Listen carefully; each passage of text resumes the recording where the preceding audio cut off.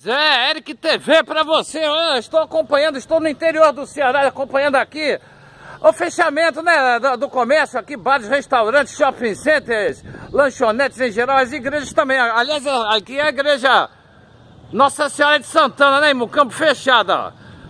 Aqui mora o Padre Ribeiro, né? Alô, Padre Ribeiro, ele, ele tá acompanhando, né? Ele tá, mora em frente, né?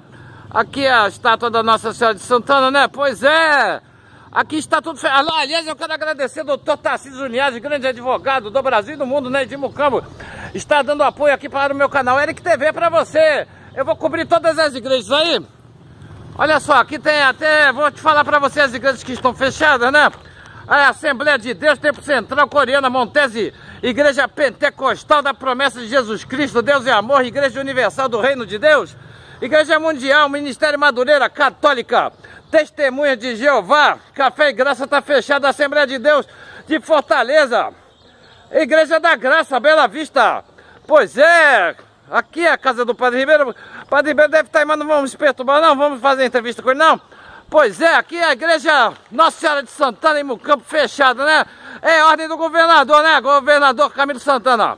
Aqui está tudo ordem, né? Tudo em ordem, está sendo cumprida. Então aqui a situação do governador, né? Pois é, um beijo, abraço, amo todos vocês, Eric TV.